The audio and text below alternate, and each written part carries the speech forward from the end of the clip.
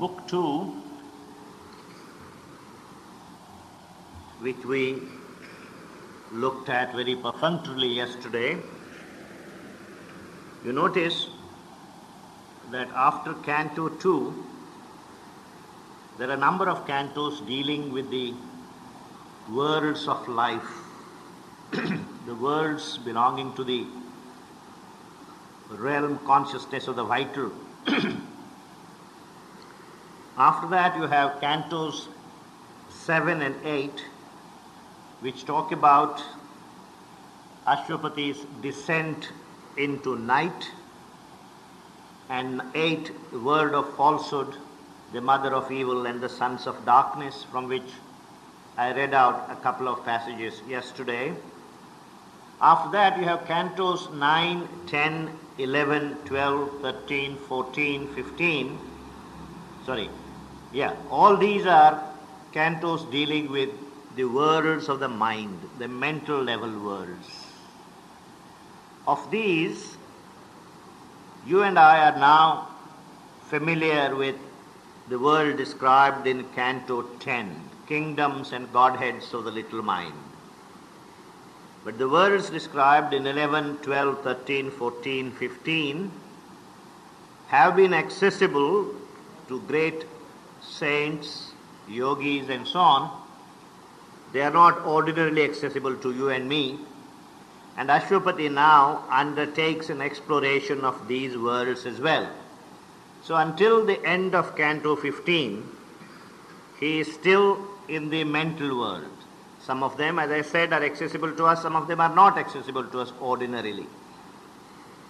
Now, at the end of Canto 15, he finds himself in a region where all mentalization comes to an end.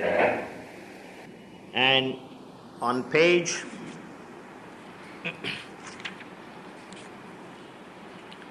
three hundred one, the last five six lines, you have this description. He communed with the incommunicable. Beings of a wider consciousness were his friends forms of a larger, subtler make drew near. The gods conversed with him behind life's veil. Neighbor, his being grew to nature's crests. The primal energy took him in its arms. His brain was wrapped in overwhelming light. An all embracing knowledge seized his heart.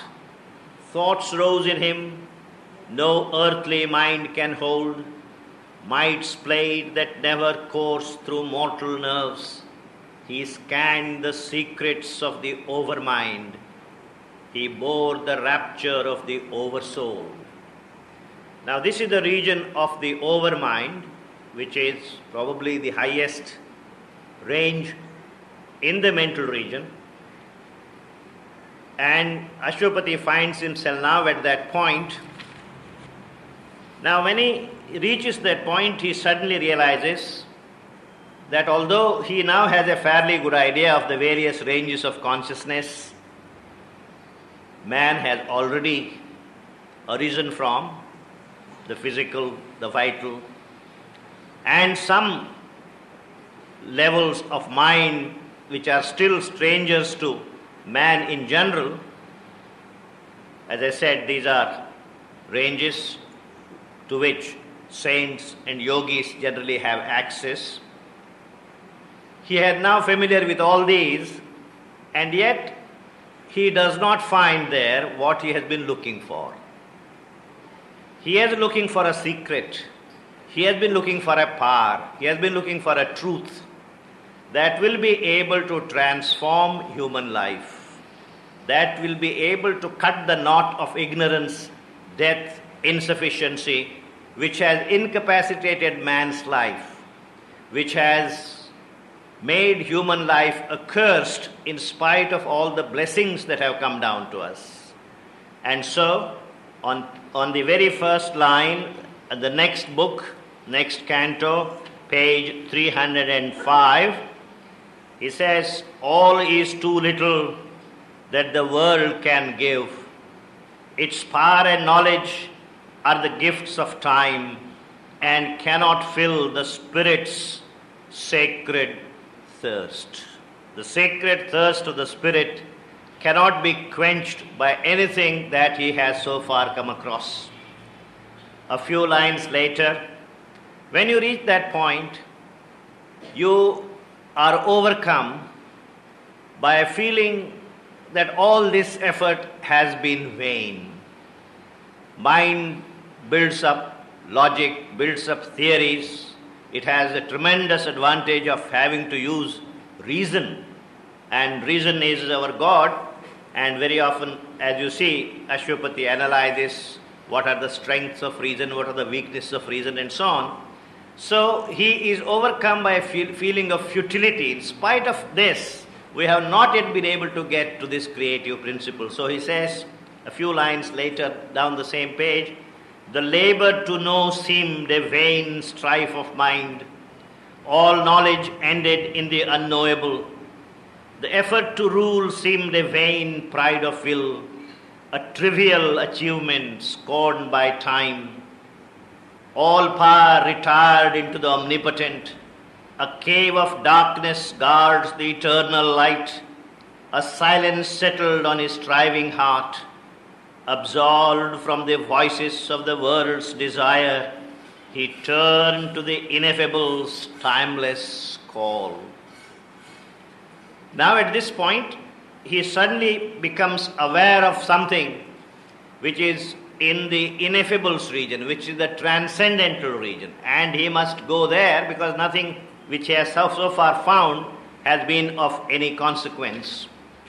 And so, he transcends this limit and tries to go beyond it. Now, when you do this, traditionally this is called the experience of nirvana.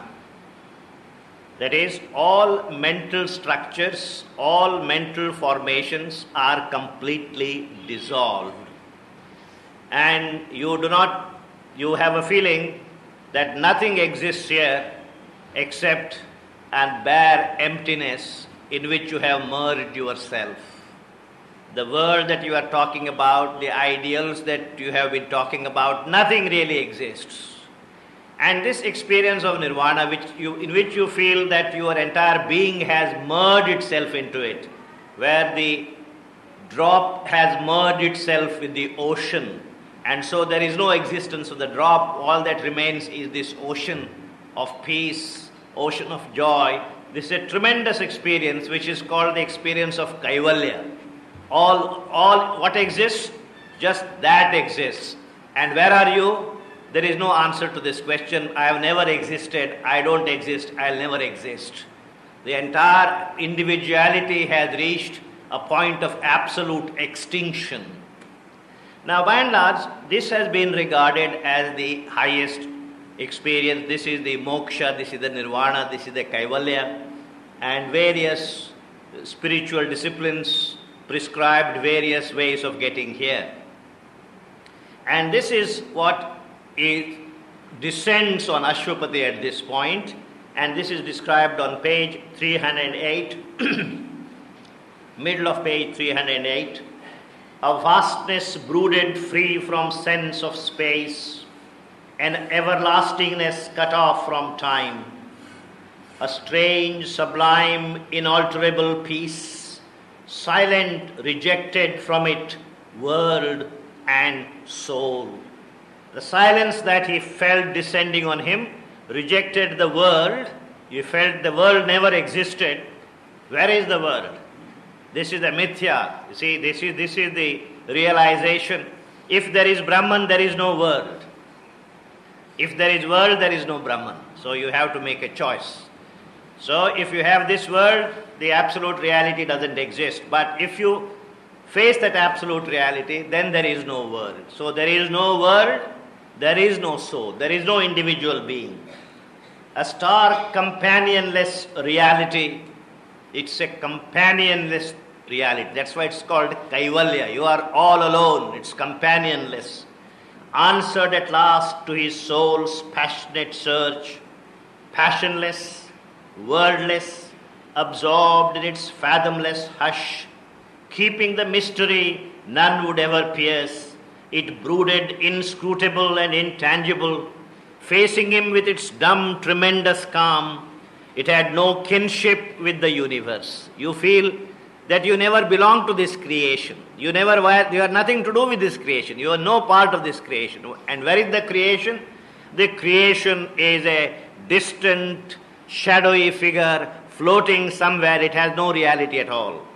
There was no act, no movement in its vast. Life's question met by its silence died on her lips. The world's effort ceased, convicted of ignorance, finding no sanction of supernal light. There was no mind there with its need to know. There was no heart there with its need to love. So, in that world, there is no God, there is no bhakta. It's only one experience of oneness with this emptiness. All person perished in its namelessness. There was no second, it had no partner or peer, only itself was real to itself. It's called, therefore, that. It's neither he nor she, it is just that. A pure existence, safe from thought and mood, a consciousness of unshared immortal bliss. It dwelt aloof in its bare infinite, one and unique, unutterably sole, a being formless, featureless, and mute. It is Nirakara. It's formless, featureless, mute, silent. That knew itself by its own timeless self, aware forever in its motionless depths, uncreating, uncreated, and unborn. Uncreating, you ask these people who created the world, the answer is, Where is the world? I don't see the world. There's no question of the world being created. As soon as you have this experience, the world simply disappears. The one by whom all live, who lives by none, an immeasurable luminous secrecy guarded by the veils of the unmanifest, above the changing cosmic interlude, abode supreme, immutably the same, a silent cause, occult, impenetrable, infinite, eternal, unthinkable, alone. The next canto also begins with the same experience. Sri has a beautiful sonnet also on nirvana. I wanted to bring it, but last minute I forgot to bring his complete poems. Uh, you will find there a sonnet, the title Nirvana. It's a beautiful sonnet. Uh, someday, when you have time, you should look into it. The same experience is being described uh, on page 310, the very beginning of page 310. A stillness, absolute, incommunicable, meets the sheer self discovery of the soul. A wall of stillness shuts it from the world. A gulf of stillness swallows up the sense and makes unreal all that the mind has known. All that the laboring senses still would weave, prolonging an imaged unreality. Self's vast spiritual silence occupies space. Only the inconceivable is left. Only the nameless without space and time. Abolished is the burdening need of life thought falls from us, we cease from joy and grief. The ego is dead. We are freed from being and care. We have done with birth and death and work and fate. See, this is, this is the ultimate. No punarapi jananam, punarapi maranam. There is no birth, no death. We have done with birth and death. Everything has been annihilated even the individual is annihilated, we have become one with this absolute silence, absolute joy. Now this is the this is the experience which is so overwhelming in its intensity, As I said, all of us, very often in life, feel like little drops of water which the wind can blow off, the sun can dry in no time. But when this drop merges with the ocean, the ocean's strength, the ocean's immortality is a part of the immortality and strength of this drop of water. That's the kind of feeling. It's overwhelming in every way. For some people, it comes predominantly as peace. For some people, it comes predominantly as bliss. But this is an experience. It's so overwhelming that most people are convinced there is nothing beyond this. This is it. This is the ultimate. There is nothing beyond this. Now, this is the experience of nirvana. As I said, Sri also has written a little sonnet about it. But Sri has always maintained that nirvanic experience is an essential stage, but only a stage on an onward journey. There is a journey after nirvana. Now, many people, uh, there have been a lot of discussion about this, debates about this. Can there be anything beyond nirvana? If you think there is anything beyond nirvana, probably what you felt is not nirvana. It's impossible for anybody to say there can be anything beyond nirvana. Because since you and I haven't been there, there is no point in our discussing this in any great detail. But Sri Aurobindo has written about this and he says, I was no stranger to nirvana. He says, Nirvana came to me without so much as knocking on my, at my door. Didn't even ask me, may I come in? It simply possessed me. Nirvanic experience simply possessed me, and I was under its spell for months and months.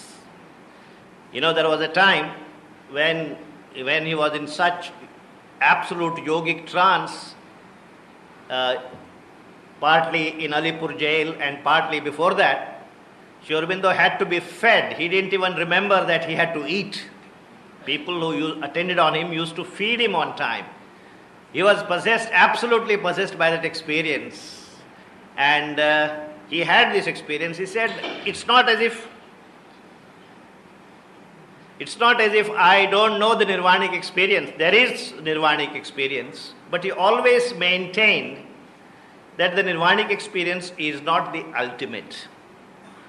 Uh, there is a lot that can be said about this point, many things which are controversial uh, people don't like, uh, many people don't like this because it somehow gives the impression that we are going against the tradition.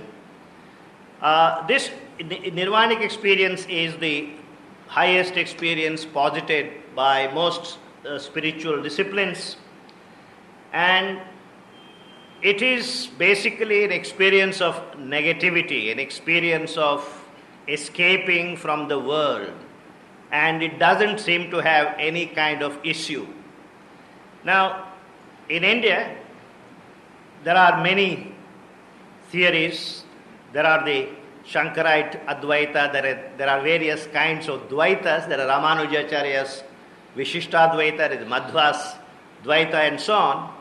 And so, Shankara's Advaita is not the only or the most predominant Indian school of thought.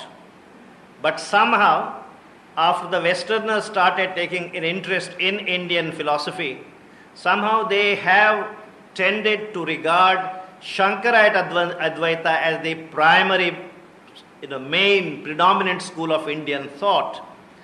Now, and therefore they have always, when, I, when they look about look at India, the Indian metaphysics, they always have looked at Shankarite metaphysics.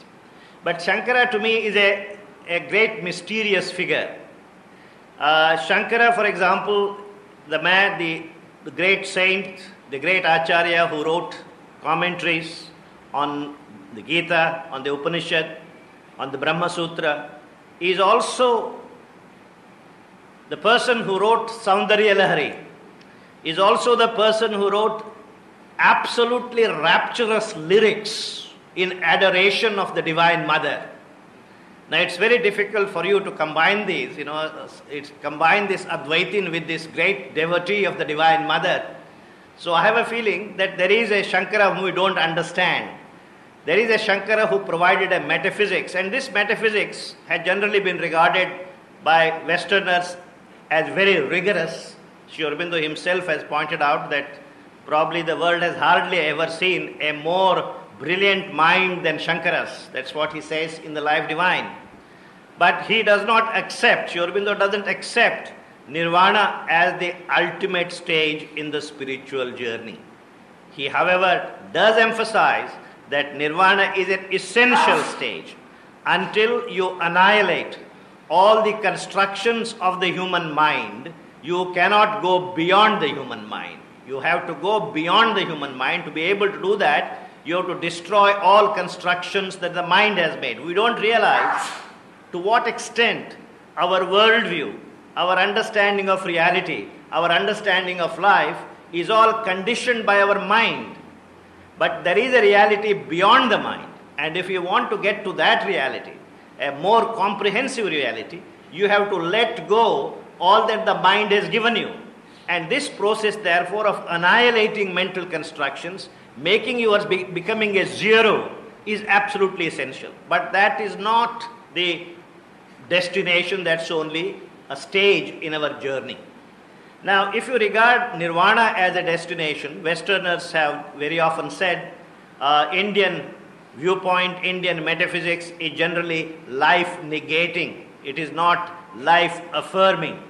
After all, you say, oh, the world has no reality. World has reality until you have found the Brahman. When you have found the Brahman, the world immediately loses its reality. So ultimately, our destination is Brahman. So, since Brahman is our destination, this world is a kind of pragmatic reality. You have to put up with it somehow or the other, but you know someday you are going to reject it and go beyond, so why make a big fuss about it? This, is, this has been the attitude of Indians. So, Indians generally are life negating. Indians, therefore, do not uh, take the life seriously. All these things have been said by Western critics about Indian metaphysics. But Sri points out that this is one particular school of thought. There are other schools of thought which do not regard uh, this as the highest experience. They do not regard life negation as primary to the Indian uh, viewpoint. Uh, I don't want to say more about this, uh, but I would like to say one thing that in the history of Indian philosophical thought, uh, Hindu ideology, Hindu metaphysics has had to face several challenges. And depending on what challenge it meets, the person who is propounding the Hindu, Hindu ideology tends to give it a different shape. Take, for example, if you read Mahatma Gandhi, or to some extent, if you read Vivekanand, Swami Vivekanand, they both make Hinduism sound Christian. Now, you can't help it because they were at that time facing the challenge from Christianity. There was a school of thought at that time, as you know, in India, that Indian spirituality had no meaning, it was absolutely worthless, and so on. So these people were trying to establish the credentials of Hindu religion in the face of this criticism, and in trying to answer those critics, they had to say, Oh, is that, are these the highest values? We also have this. Is that the highest value? We also have this. This tends to be the case exactly the same way when Shankara was trying to re establish Hinduism, he was meeting the challenge of Buddhism. And therefore, when Shankara interprets Hinduism, he makes it look almost like Buddhism. And by doing this, he was able to establish the Hindu view of life or Hindu metaphysics, Hindu religion. As you know, by about the second or third century AD, Hinduism had almost disappeared from the face of India. Uh, there was Buddhism, there was Jainism. All over the south, you had Jainism. All over the north, you had Buddhism. Hinduism was had hardly was on the verge of extinction. Shankara was the man who brought it back, and he brought it back by doing exactly this. He took up the Hindu metaphysics and answered the challenges of the time. So it is therefore, in my view, it is erroneous to pin down Shankara to what he said at that time and, and say, this is all that Shankara is. For me, Shankara is far greater than his metaphysics. Shankara is far greater than his commentaries on Brahma Sutra, his commentary on the Gita, and the commentary on, on, on uh, Upanishads. Uh, however, uh, although Sri respects what Shankara has said, and although Sri regards nirvana as an essential condition, you can't get far in the spiritual life without having this experience of nirvana. He says there is a stage beyond nirvana where you affirm the world, you go back to this world and realize that God is this world itself. This world itself is throbbing with God. That experience, which is a positive experience, Nirvana is a negative experience. Nirvana says nothing, none of this is God. After going back, then you realize everything here that you have left behind is pulsating with God, vibrating with God. This entire world is God. That's the experience. Ashwapati now is on the verge of breaking through this experience. As I said, he has this experience where the ego is dead, we are freed from being and care, we have done with birth and death and work and fate. And then suddenly you have this, O soul, it is too early to rejoice. See, Ashwapati suddenly kind of pulled back. O soul, it is too early to rejoice. Don't declare a holiday yet. This is not it. Why? Thou hast reached the boundless silence of the self. Thou hast leaped into a glad divine abyss, but where hast thou thrown self's mission and self's power? You see, the human being has come here. Why has he come here? He has come here to go back. Then why did he have to come here? You see, we are all in a hurry to get back to that place when, where we came, where back to God. Well, you know, it, it sometimes, very often I visualize something of this kind. You are about to set out from your house early in the morning. You have taken your cycle, you have taken a couple of bags, and you are about to go out, I come to see you and I am asking you, where are you going? Or why are you going out? Easy question, why are you going out? Suppose I gave the answer, I am going out to come back home. What kind of an answer is it? Surely everybody who goes out will eventually come back home, but why are you going out now? To meet with friends, to buy vegetables, to go to a pharmacy, get some medicines. I have some purpose in going out. So God took a plunge into ignorance, and we all came out of that. What is the purpose of this outing? Going back, is it? As early as possible, as fast as possible. Let's go back. So, Ashwapati is all being asked this question. You are negating everything. The world is not true. There is no reality in the world. But why did we come, come here? What was the purpose of our coming here?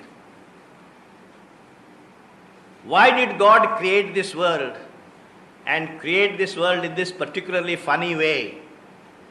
When everybody is miserable most of the time, why did God create such a world? What was the need for such a world? If God wanted to give us all a holiday here, He would have created a Hawaii or whatever, everything is fine, you don't have to pay taxes, there is no garbage, nobody gets old, nobody dies, so you have a small holiday and then go back. Why did He create this terrible, terrible world where there is so much pain, so much suffering?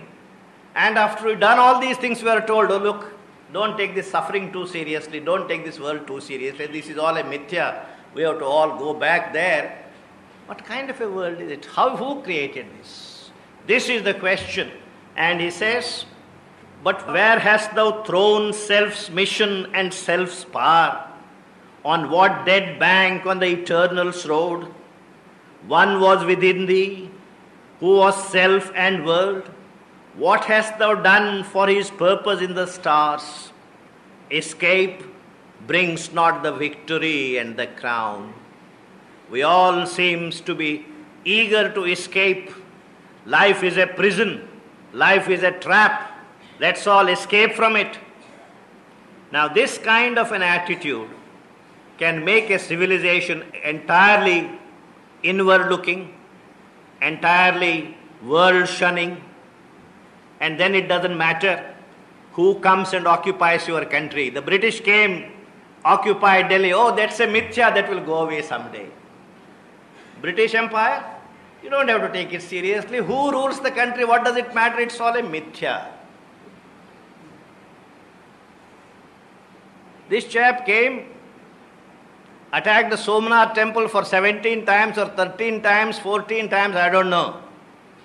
Uh, what does it matter? It's all a mithya. Where is the Somnath temple? What is it? It's all a mithya. The attacker is a mithya, the temple is a mithya, we are all mithyas. Shivoham, Shivoham, we all sat with our eyes closed looking inside.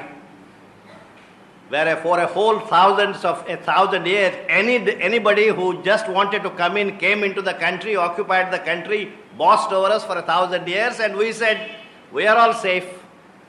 God inside, God above, all this is a Maya, Mithya, a fleeting thing, a passing thing. Nobody need take this very seriously.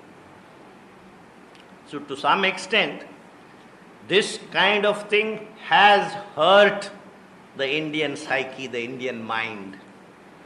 Sri points out the Vedic ideology was to realize the world is imperfect, and the Vedic prayers were for the gods to descend in us so that with these powers we can exert ourselves and make this world perfect. Somehow, as I have always maintained, the Indian spirituality has two major branches. One branch takes you towards the monk, the other takes you towards the rishi. The monk tradition became strong after Buddha, and the rishi tradition gradually got forgotten. The rishi is one who lives in the world, who exerts for the world, and who wants to bring perfection to the world, who wants to make this world a heaven. That's the Rishi ideal, and that was the Vedic ideal.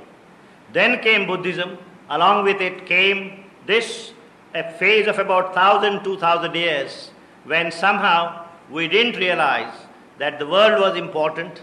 This is the world, this is the God. We are called here, we have been invited here to participate in this great sacrifice the holocaust of the Supreme. The Supreme has taken this plunge. We are going back. This world has to be made perfect. This was forgotten. And Sri Aurobindo has brought back this Vedic ideal once again.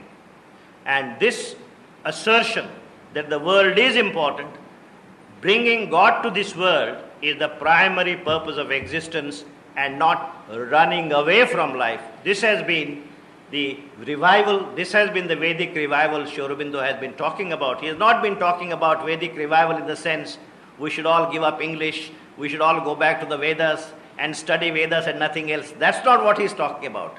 It is the Vedic spirit, it's the Vedic love of life. This life, this is a life which has to have a spiritual foundation but a material structure.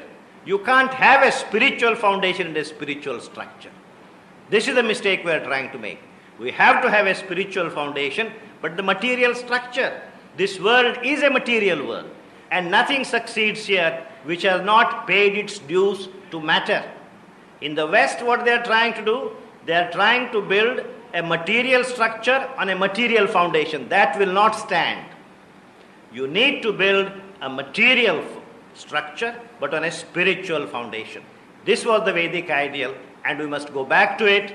That's what Sri has always insisted, and that was his quest, and that is now, as you can see, reflected in Ashwapati's ideology. And so, One was within thee who was self and world. What hast thou done for his purpose in the stars? Escape brings not the victory and the crown. Something thou camest to do from the unknown, but nothing is finished, and the world goes on. Because only half God's cosmic work is done, only the everlasting no has neared and stared into thy eyes and killed thy heart. But where is the lover's everlasting yes and immortality in the secret heart? The voice that chants to the Creator fire, the symboled Om, the great assenting world, the bridge between the rapture and the calm, the passion and the beauty of the bride, the chamber where the glorious enemies kiss, the smile that saves, the golden peak of things. This true is truth at the mystic fount of life. A black veil has been lifted. We have seen the mighty shadow of the omniscient Lord, but who has lifted up the veil of light and who has seen the body of the King? There are two veils on the face of truth. One is the veil of avidya, the other is the veil of vidya. Both have to be lifted. So, as the Ishopanishad says, the face of truth is also covered by suvan, a golden lid. That golden lid has also to be removed. Just because it's a golden lid, it doesn't become our ideal. Golden lid it is still a lid. That has to be separated, that has to be taken away, and therefore the poet is asking the black veil has been lifted, the veil of avidya, of ignorance has been lifted. And we have seen the mighty shadow of the omniscient Lord. And what you see when the first veil is lifted, the shadow of the Lord, you don't see the Lord. This nirvana, this negation is a shadow of the Lord. What do you have to do then? But who has lifted up the veil of light? The veil of light has to be lifted. And then what happens? And who has seen the body of the king? Then you see the body of the king. The Upanishad very clearly says, you have to go beyond Vidya and Avidya. And you have to cultivate both Vidya and Avidya. We need the knowledge of the one and also the knowledge of the many. We can't do just with the knowledge of the many, nor just the knowledge of the one. In India, we ignored the knowledge of the many, and therefore this is what has happened to this country. In the West, there was a tendency to ignore the knowledge of the one behind the many. What we need is one and many. Both have to be simultaneously cultivated. And therefore, towards the end of that page, it says, A high and blank negation is not all. A huge extinction is not God's last word. Extinction from this world, negation of this world, getting out of this world, nirvana from this world, that is not all. A huge extinction is not God's last word, life's ultimate sense, the close of being's course the meaning of this great mysterious world. In absolute silence sleeps an absolute power. Awaking, it can wake the trance-bound soul and in the ray reveal the parent sun. It can make the world a vessel of spirit's force. It can fashion in the clay God's perfect shape. And finally, in two lines, very beautifully says, to free the self is but one radiant pace. To free our inner being from ignorance is only one step. What do we have to do? We have also to free our body, our mind, our life energies from the hold of ignorance. Here, to fulfill Himself was God's desire. God created this world with this idea of fulfilling Himself. And we are bent upon frustrating God's plan. Instead of helping, instead of trying to fulfill God here on earth, we are shortchanging Him, as it were, by winding up our business and saying, let us all head back to that place. And that, he says, to free the self is but one radiant pace. Here to fulfill himself was God's desire. Well, when Ashwapati is determined that he will not rest in this realm of nirvana, he has to go beyond it. Then what happens? About five lines, six lines from the top of that page, 312, he immediately begins to feel the presence of the Divine Mother. The Divine Mother is the transcendental Shakti. She is beyond this world.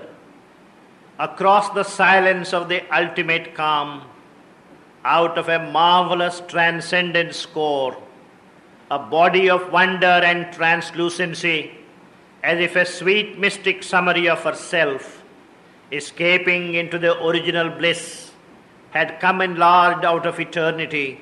Someone came infinite and absolute, a being of wisdom, power, and delight, even as a mother draws her child to her arms, took to her breast nature and world and soul, abolishing the signless emptiness, breaking the vacancy and the voiceless hush, piercing the limitless unknowable into the liberty of the motionless depths a beautiful and felicitous luster stole. This is a fairly long description. Uh, on page 314, you have the culmination of the description, about six, seven lines from the top, and these are the lines which we read out on the very first day as an invocation. It's a very well known lines. I will read that invocation and conclude. At the head she stands of birth and toil and fate. In their slow round, the cycles turn to her call. Alone her hands can change time's dragon base. Hers is the mystery the night conceals. The spirit's alchemist energy is hers. She is the golden bridge, the wonderful fire, the luminous heart of the unknown is she, a power of silence in the depths of God.